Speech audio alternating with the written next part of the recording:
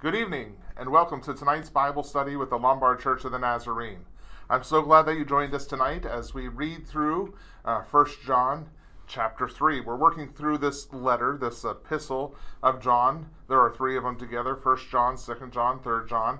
Remember, this is the same uh, John that was a disciple of Jesus, wrote the Gospel of John, and also this is the same John, the Revelator, who wrote the book of Revelation.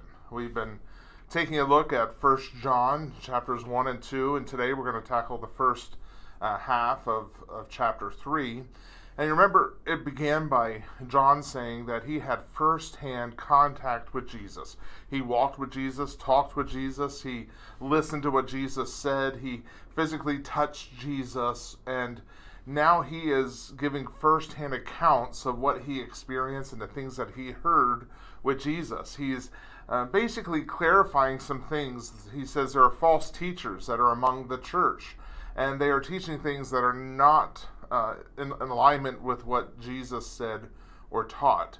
And so he's clarifying those things. In the last chapter, we read that there were three temptations the lust of the flesh, the lust of the eyes, and the pride of life. And he's talking about how we are tempted to sin, but we're not to sin.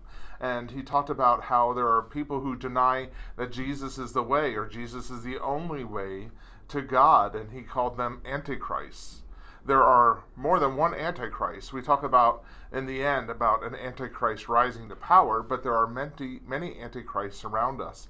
We hear stories from people all the time of no, all roads lead to God, and they go to they worship the same God that we do. No, he is saying that those are antichrists. Uh, Jesus is the only way.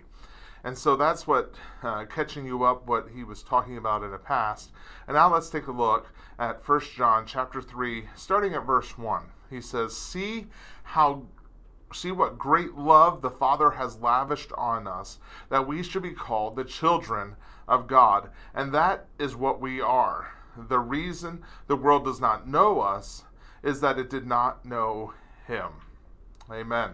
So just contextually, the last verse in 1 John chapter 2 ends with saying, uh, You know that everyone who does what is right has been born of him. And so John um, m- mentioned that we're being born of God, born of of Jesus. And if we are born of God, now he continues that thought here in chapter 3 that we are called the children of God. Because if we are born of God, we are children of God. It says, See what great love the Father has lavished upon us. God loves us so much, and how did He lavish or extravagantly bestow upon us through His love? What did He did? He said, "I'm going to adopt you. I'm going to make you my kids, uh, not children of a man and a woman, but children of God, the the King of Kings, the Lord of Lords, the Creator of all things. We can be His children." Praise the Lord. That's how God lavished love upon us. God knows us, and the world doesn't. It says that here. We live in a fallen world, but we are the family of God and not the family with the world. And so the world doesn't recognize us. They don't know us because they didn't know our Father. They didn't know Jesus. And so because they didn't recognize Jesus, they don't recognize the family of God. And so we don't always fit in here in the world. We're not part of the family of the world, we're part of the family of God. Isn't that exciting? It goes on in verse 2 to say, Dear friends, now we are children of God, and what will be has not yet been made known. But we know that when Christ appears, we shall be like him, for we shall see him as he is. Amen we are the children of God right now. It, you notice it didn't say in the future we will be the children of God. When when Jesus returns, we'll be the children of God. No, we are right now. We have to get in our minds and our hearts. We have to get that mindset that we currently now are the children of God. We have a Father who is the creator of all things. Now, we don't know all that's going to happen in the future. Our Father knows that in heaven. Just like little children don't always know what the parents are planning, but they have plans, right? And so uh, you'll you'll they'll figure it out. Uh, have you ever been in a car with children? Are we there yet? Are we there yet? Where are we going? What are we going to do? Asking all those questions. we're the children of God. We sometimes wonder what what's all going to be, what it's all going to be like, and when Jesus will return. But God knows those things. But what we do know is that we are His children, and that's what is important. Jesus is God's Son, and He is coming. Jesus, God's firstborn, His Son, is coming, and we will be like Him joint heirs with Jesus, and we will see Jesus as he is. Amen. We're going to truly see, we're going to be in a full relationship with Jesus. Nothing, no barriers, no confusion, no cloudiness of our vision. We're truly going to see Jesus for who he really is. Isn't that exciting? We're going to be face to face. 1 John 3 3 then goes on to say, All who have this hope in him purify themselves just as he is pure. See, we have hope. Our hope is that we are the children of God and Jesus is coming and we are going to be with him and we will see him clearly and we will be like him. All this puts hope in us, right? Does that not make you hopeful tonight that what we are going through in this earth is temporary, but we are children of God in the midst of a broken world and one day Jesus is coming and we're going to be with him forever? Yeah, that should give us hope. And today, if we are the children of God, he he builds this this argument here saying then we are if we're awaiting that savior, we are going to be pure because we are the children of God. We're not the children of the devil, we're not the children of the world. We're children of God. Our DNA is now of God.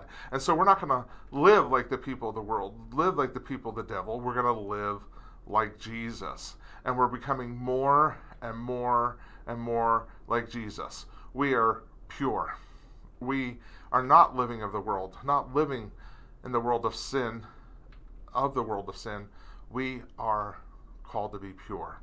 He goes on to say in verse 4 then, everyone who sins breaks the law. In fact, sin is lawlessness.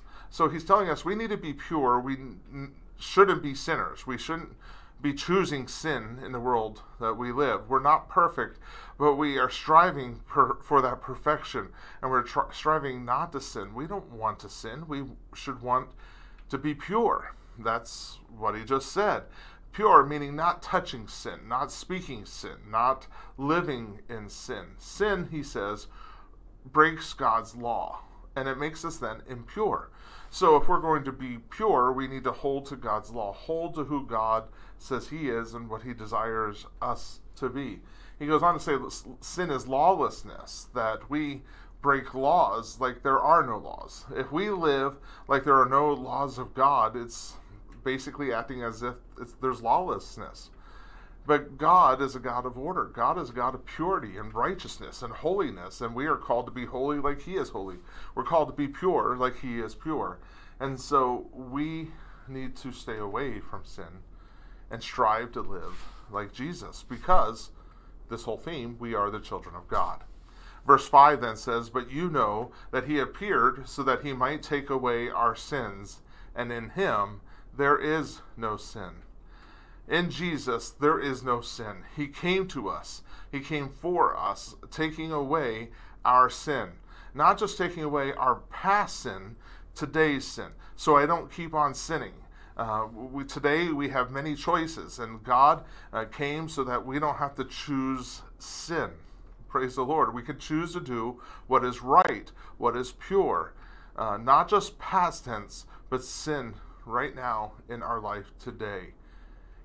Jesus is alive. He's alive in us, and in him there is no sin. It Goes on to say in verse 6 No one who lives in him keeps on sinning. No one who continues to sin has either seen him or known him. So if we're living in Jesus and Jesus is in us, we allow him to guide us and to lead us. He's not going to lead us into sin. He's not going to guide us into sin because that's not his desire for us. So if that's the truth, if Jesus is in us and at work in us, we should not continue to keep on sinning like we were sinning before. Uh, Jesus, if we keep on sinning, Jesus isn't our Lord. He's not, uh, we talked about previously, Lord is our supreme authority. If Jesus is our supreme authority, we are doing what Jesus would want us to do. That does not include sin. We can't say, uh, sorry, we can't sin and say that we know Him. No, it says here we can't. And so, you know, the early church, and we hear it today too, uh, he's dealing, John is speaking to these, the theology of these false teachers saying, oh no, you have to keep sinning, keep sinning. It's all right, Jesus loves you, just keep on sinning. No, that's not what John is saying here. He's saying he heard and spoke with Jesus, t- talked to Jesus, heard Jesus teach, and what he taught was to stop sinning. Verse 7 then says, Dear children, do not let anyone lead you astray. The one who does what is right is righteous, just as he is righteous. So here he refers to us as children again. We are the children of God. Uh, but like children, we have to be careful not to allow other people to lead us astray, these false teachers or the enemy pulling us into sin. We can't allow ourselves to go down those paths to believing sin is okay, to be wanting sin or choosing sin. Jesus is righteous. He does what is right, and we are called to righteousness as well. He makes that clear here. So we must do what is right, which means live a life not choosing sin. Verse 8 goes on to say, The one who does what is sinful is of the devil, because the devil has been sinning from the beginning. The reason the Son of God appeared was to destroy the devil's work. Sin, why don't we do sin? Sin is the work of the devil. If people sin, then they're doing the work of the devil. Now, here's the reality we all have sinned and therefore have done the work of the devil in our lives. But Jesus came to destroy the work of the devil. In other words, to destroy sin and the work of sin in our lives. Jesus came to destroy it. So therefore, we must not embrace sin. We must not condone sin. Instead, we must allow God to destroy sin in our lives so it has no power over us anymore, so we can live pure lives and be righteous. Verse 9 then says, No one who is born of God will continue to sin because God's seed remains in them. They cannot go on sinning because they have been born of God. So God's plan isn't for us to keep on sinning. His plan for us is to be born again, spiritually born again. Jesus talked with Nicodemus about that. Uh, John wrote about that before. And now we are seeing that if God is born in us, we are li- He is our Father. It's like a seed that is in us. The Holy Spirit is in us. God's Word is in us so we don't keep on sinning. We are now on, with a new Father, God, and He is that seed that is in us, that new DNA that's in us, so we are not living in sin.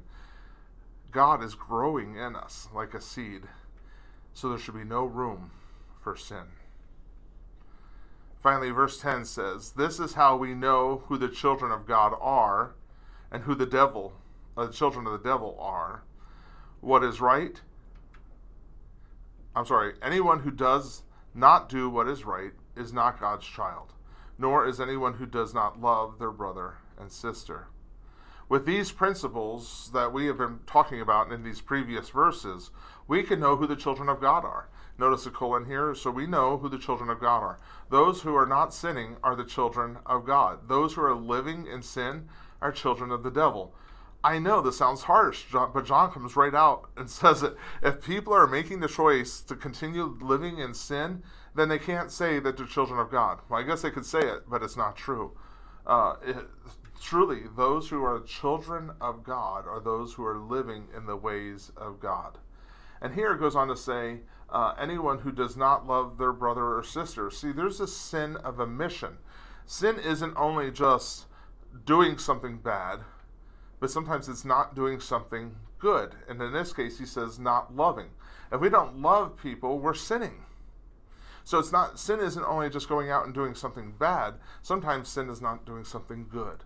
And we are called to be loving people. So we need to love our brothers and sisters because that is the way of God. So that's the first section here in First John chapter 3 talking about being children of God. My prayer is that all of you who are listening are children of God, that you've given your life to Jesus and committed to Him. If we can pray for you, or you're not sure what it means to be a follower of Jesus, or you have questions, feel free to reach out to us through the website or through the prayer request uh, email here. But Let's pray for you. God, we thank you that you are a loving God, that you care for us. Thank you for showing us the way through your Son, Jesus. I ask that we would become your children. Everyone who is listening would give their lives to you, let you come in and be their Lord, their supreme authority in their lives. Wash away the sins because you paid for them, and help us to sin no more. Help us to overcome the sin and the temptations of this world for we don't want to be children of the devil. We want to be children of you. Help us to be overcomers of sin. We only could do it with your help, God. So help us in this. We pray in the name of Jesus. Amen. Amen. Thank you again for joining us tonight as we started reading through 1 John chapter 3. Join us next time as we'll continue reading through that same book, finish up 1 John chapter 3. God bless you. Remember, Jesus loves you, and so do we.